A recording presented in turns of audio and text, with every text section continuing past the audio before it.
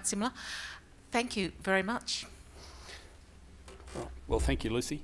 Um, and thank you very much, the organisers, for uh, inviting me to speak at this gathering. Um, you've all seemed to last the day quite well. The crowd is still here. Um, in some respects, I feel like the person that's been talked about all day. Um, and by some quirk of planning, has the last right of response to all that. Uh, but let me reassure you, I'm actually not going to rehearse every point that's been made about TEQSA today um, uh, by the various speakers through the day, rightly, wrongly, factually, or inaccurately, as they may variously have been.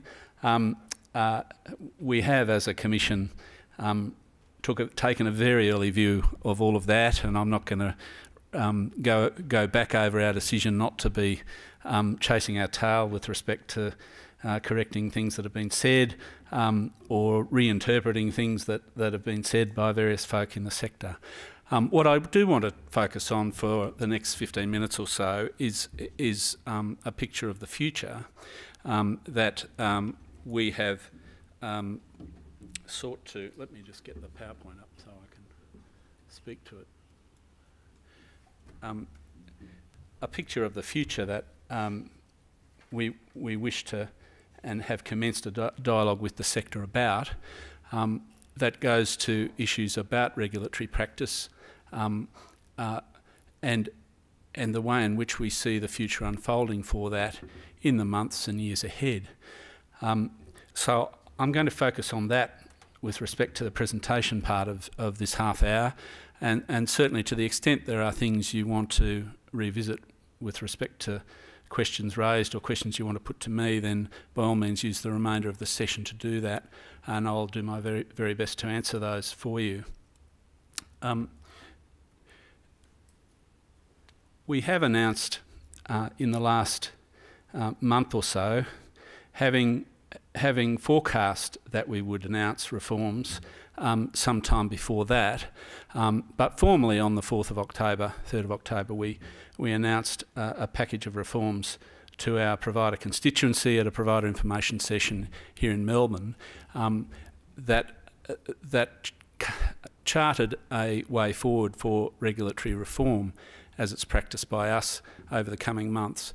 And I wanted to um, share with you um, the essential components of that uh, and give you a chance then to, to uh, ask questions about it. Um, in many respects, it reflects quite strongly on a lot of comments that have been made through the course of today. And certainly, one of the things that I found a little refreshing um, um, earlier in the day was Bill Scales' um, discussion with folk that, that gave um, a reminder to people about, about the origins of TEQSA. um, and, and precisely the reasons why it was established um, as, a, as part of a um, comprehensive package of reforms that the Bradley Review articulated. Um, TEQSA took quite a while to get to the starting gate after the Bradley Review, and, and there's a whole history that attaches to that. And certainly I had um, some part in the establishment of the agency um, prior to the passing of the legislation and, of course, the formation of the Commission.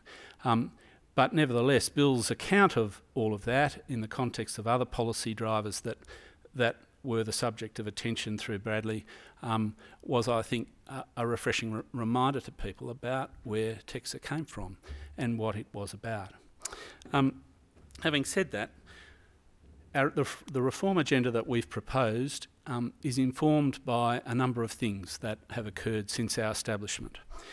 Um, and I'd just remind you all that TEQSA became the regulator something like 21 months ago. Um, that seems on some days at TEQSA to be a long time ago, and at other days it only seems like yesterday. Um, but nevertheless, it is the case that only 21 months ago um, the regulatory power switched on, and indeed some of our powers to do with ESOS uh, and the regulation of international education under that Act occurred even more recently than that. Um, in the time we've been the regulator, though, we've conducted re-registrations on eight universities two other self-accrediting providers and multiple higher ed providers, uh, typically that are members of Claire Field's organisation ACPET or Adrian McComb's organisation at COPHE. Um, that has given us um, some significant experience of, of the application of threshold standards to the work of the regulator in determining registration and the accreditation of courses under, under those standards.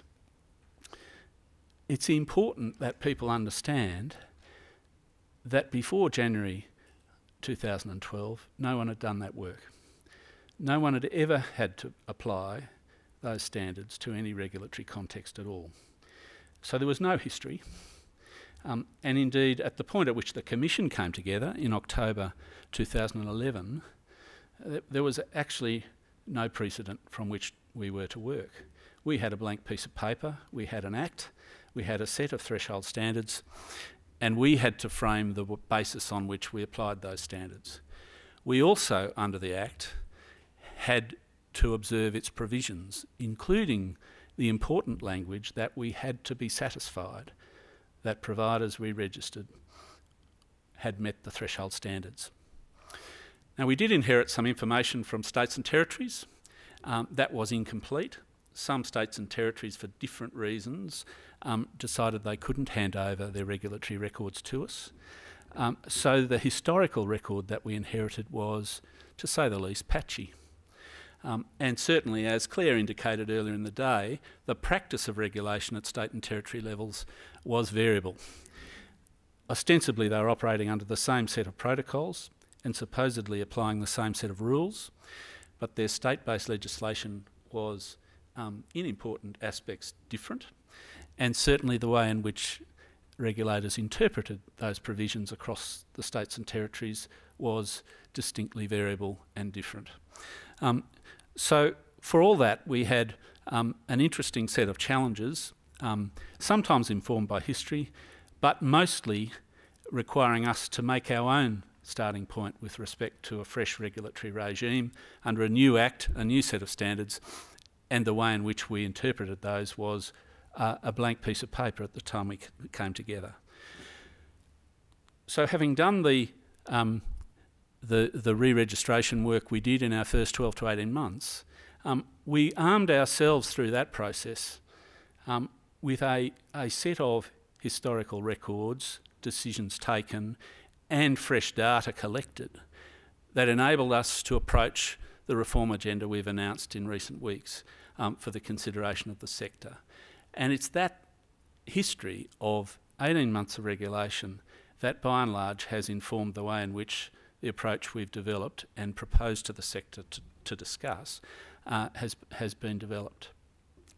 Um, since that time, we've had the review report from Dow Braithwaite, uh, and we've now most recently had a direction from the Minister, um, the, the second direction we've had from any Minister in our time together um, as an agency, um, and those two things have helped refine and nuance the way in which we've shaped the discussion paper that's now out for public consultation.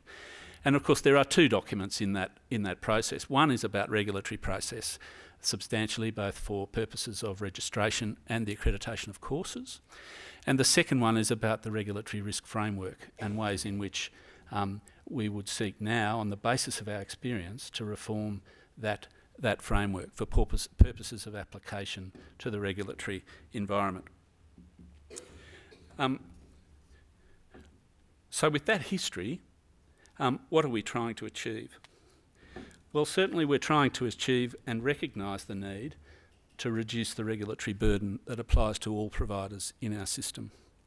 Um, we're also trying to accelerate decision-making timeframes, and we recognise the need to do that for all providers in the system. Um, and I might say, as a general comment, um, we by and large have already done things more quickly than the former state and territory regulators were able to achieve during their uh, lengthy period with responsibility in these areas. And I make that comment to you on the, on the basis of my long association with state and territory regulators prior to becoming involved in the TEQSA process we are seeking and have achieved, I think, significant reduction in information and reporting requirements.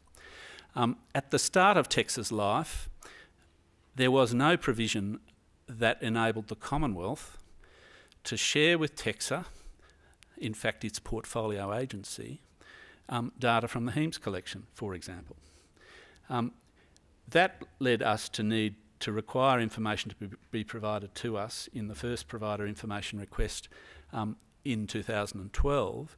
Um, and it was only through that process that we were able to generate interest in the Commonwealth amending its Higher Ed Support Act and giving us, um, by deed of the amendments to the Act, a capacity to look directly at the HEIMS data that is collected.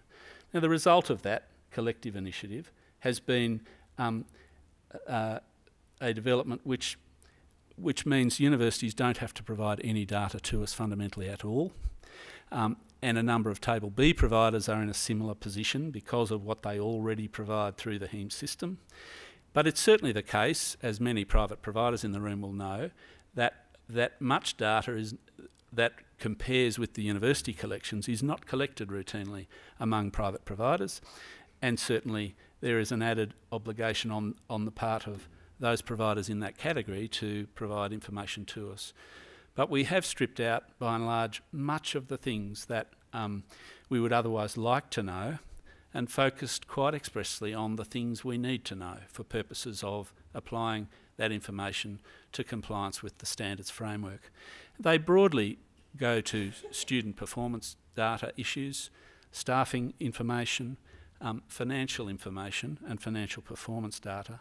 And the third one, the fourth one, um, which is a, a category of um, information we sought initially to do was student survey data, data about what students are actually um, saying about their experience in, in your providers.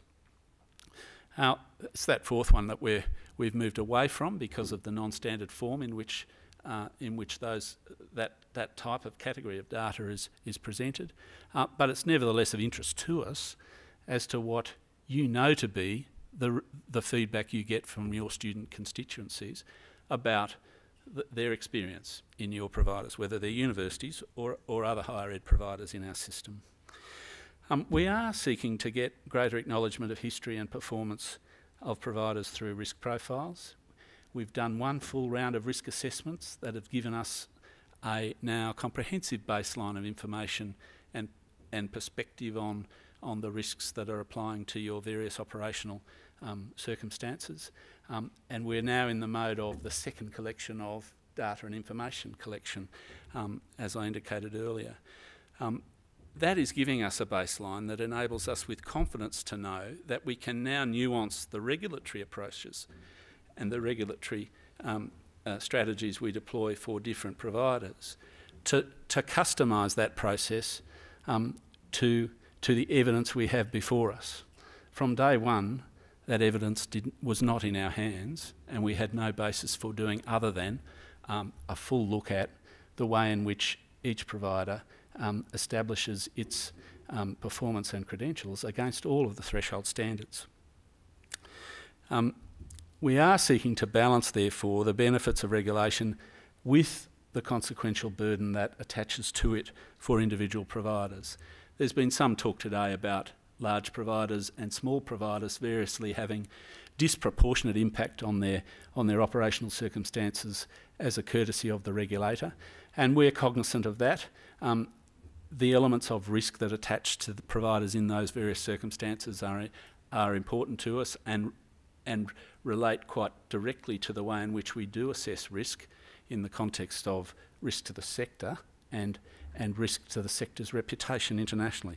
So they are the focus of our of our um, of our reform agenda, as is um, the notion of continuous improvement, um, which I've noted Jan's comments from earlier um, in this session, um, and and perhaps that's something that we can talk about in the Q&A afterwards. But um, but we are certainly interested in continuous improvement as it relates to providers in all categories of um, performance in, within the sector, um, new and old, um, for profit and not for profit, small and large, dual sector or single sector in operating circumstances.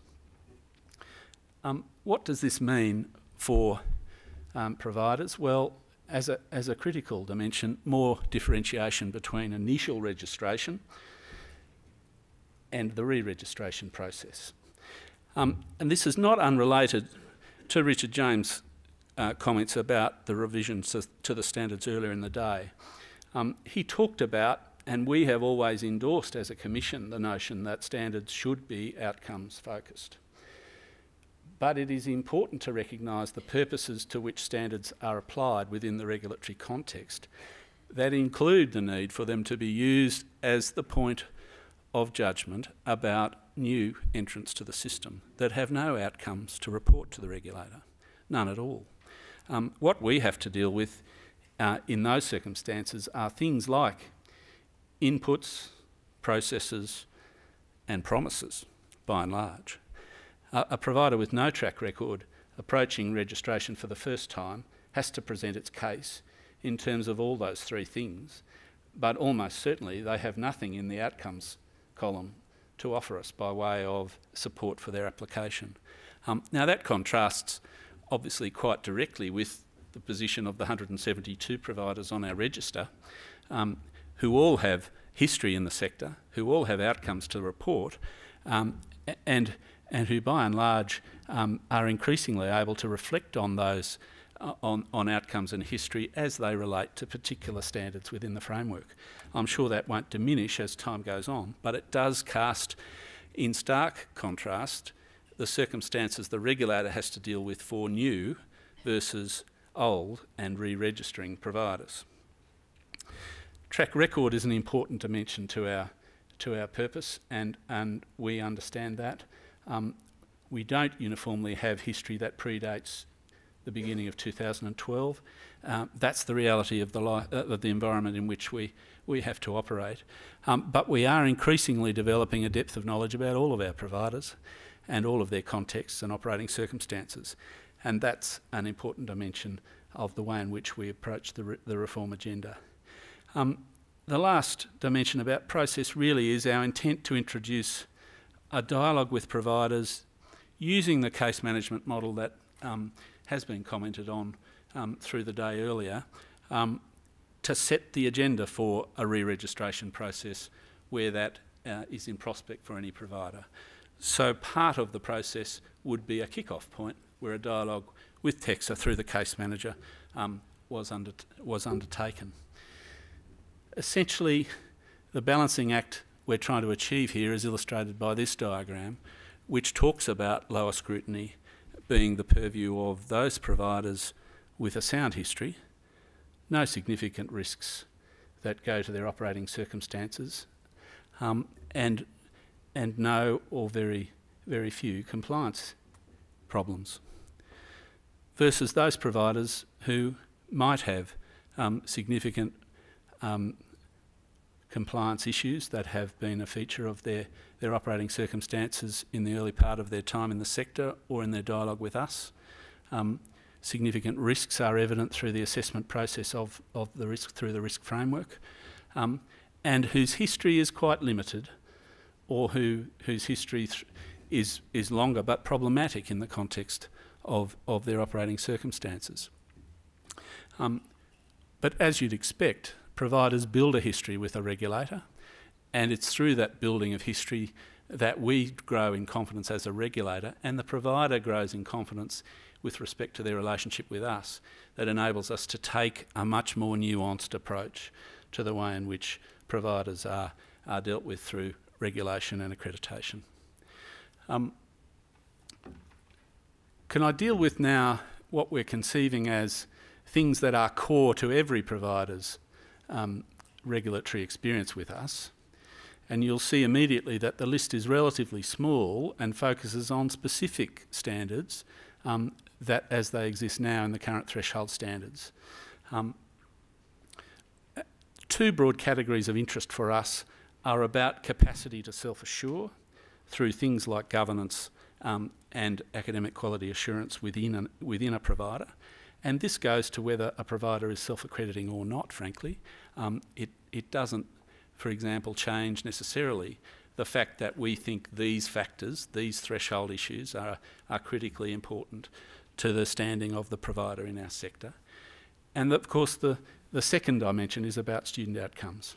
What are the measures of student performance and student success that give the regulator confidence that this is a provider achieving the objectives it sets out for itself and, and can measure and reflect on those, those outcomes itself as it builds and improves the quality of its operations. Around that core might be a whole other number of different threshold standards um, that might be quite distinct for particular providers, um, but uh, and and quite different even to the four that are specifically mentioned in the grey ring around this dialogue diagram. Um, but commonly, we'll be interested in issues around financial sustainability, um, and and that goes to to both small and large providers. Um, but often the small ones have a fragility about their financial position, which which gives us reason to want to have a dialogue with them in an ongoing way about about their financial performance. Um, third party uh, arrangements, which you know was the subject of a of a survey we undertook earlier in the year and which will be the subject of a national report um, probably in the early part of 2014, um, looms significantly among high risk issues for many of our providers. Even in the narrow fields of teaching and learning that we focused on with respect to that survey, more than half the sector uh, is exposed to third party arrangements in that space. And, and in many respects, um, the levels of engagement on third parties are growing in number, um, uh, both nationally and internationally. Um, so that gives you a conceptual idea of the core that we might focus on and those things around the core that might be added to it where the provider's circumstances justify um, the, the regulator's attention. Um, that attention might be driven by the risk assessment, by regulatory history, uh, or by the dialogue we've had on other aspects of our relationship with providers. For example, through um, the material change mechanism, which requires um, where the onus is on the provider um, to report challenges they are facing as they relate to threshold standards and the potential for those standards to be breached in circumstances where the provider has, has problems that it is seeking to address. Um, our reforms do not stop with um, revisions to the way regulation and course accreditation are practiced across the system.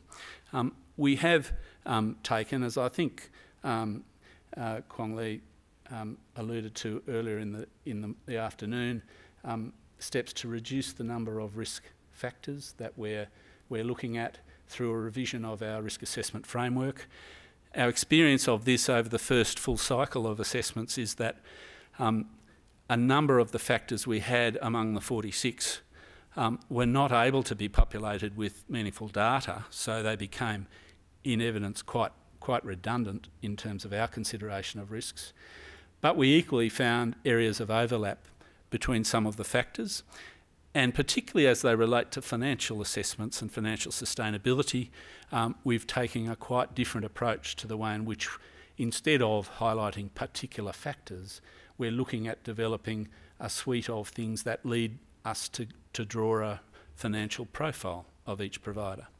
Um, but as, as was said, um, the number of factors that, that drive the risk assessment um, framework into the future is likely to be of the order of a dozen. Uh, again, this is out for consultation, and we're open to all, all sorts of suggestions from providers about, about the appropriateness of that. Um, we're also seeking some movement about the alignment of regulatory processes. Um, and there has been some allusion to this, but let me give you a, a critical example. As you know, the regulatory cycle under TEQSA's framework is um, uh, gives the potential for a seven-year cycle of events, regulatory events with us. Seven years for regulation, re registration, seven years for courses to be accredited. Um, the ESOS Act remains at the maximum a five-year cycle. Uh, we would certainly like to see regulatory um, legislative reform uh, that enabled those two acts to speak to each other on the same time frame uh, uh, for purposes at least of higher education reg re regulation. Um, the obvious solution is to um, allow higher ed providers a seven-year cycle so that regulatory events can be aligned in a way that enables a single event to deliver multiple outcomes for, um, for providers. Um, we're also narrowing the sense of burden providers have had about material change. This was a, a mechanism introduced in the TEQSA Act. Um, it was new to all providers uh, at the time it was introduced, um, and we've now worked with it for the 18 months or so we have and decided there are ways in which we can reduce the frequency with which um, pro all providers um, are driven to the material change mechanism to report something to us. This will reduce the numbers of, of, of, times that's required under the legislation uh, and give us scope to have a dialogue informally with providers about, about the nature of any changes that are material to their circumstances um, and certainly take away the formality of that process as it relates um, to the process articulation we started with. Um, it hasn't changed the obligation on providers to maintain their slice of responsibility for, for reporting things to, to the regulator. But it has reconceptualised that responsibility to a less formal, um, more dialogue-based set of arrangements, which enable you, for example, simply to ring up the phone and report something to your case manager as a way of reflecting on um, um, what you might want to report to us. Um, annual data collections are now reduced in scale and for some providers, particularly those that report under Table A, Table B of, of the HESA Act, um, quite, uh, um, quite reduced in burden. And we've said now for some time that the quality assessments we're charged with responsibility for will only occur um, once a year um, unless the Minister directs us to do something quite specific uh, for him where um, that may change. Um, we are working with a number of other bodies. There's been some talk, for example, of the ASQA um, TEQSA dialogue that uh, we've initiated and had ongoing now for something like 18 months with some important um, developments. We're equally engaged with a number of international bodies who have regulatory responsibility in jurisdictions where, where Australian providers have a particular um, level of activity. Um, the four that we have signed up that, that cover this territory are the QAA agency in the UK, um, but perhaps re more regionally focused, the other three are in Malaysia, Singapore and Hong Kong. Um, our dialogue with professional bodies has been um, quite um, extensive over the early months of our existence and they continue. Um, and we have negotiated arrangements where we hope to be able to share course accreditation uh, activities with professional bodies where that's appropriate in order for the provider to turn what would otherwise be at least two regulatory events of different purpose and intent into a single coordinated one. Now, sometimes that's not possible, but certainly of the 140 professional accrediting bodies um, we think exist out there in the system, um, we've opened a dialogue with a number of them um, and with with tribes of them really through Professions Australia. Um, and our our progress in that area will target particular disciplines in order to, to seek to achieve models of um, mutual accreditation practice that facilitates and benefits um, providers and reduces their obligations um, uh, uh, for, for both the agencies. Um, I've mentioned the department and our, our wish to see legislative reforms, um, and I won't rehearse that again. Um, the last slide here is about consulting with our stakeholders and goes to um, the extent to which we are genuinely interested in feedback on the proposals that are out there. The two documents have been on our website now for a couple of weeks. We are engaged in direct bilateral conversations with peak bodies and other stakeholders. Um, we're certainly inviting folk to offer us written um, feedback on on the material content of each of the documents that are out there and also answers to the questions we've posed through those documents.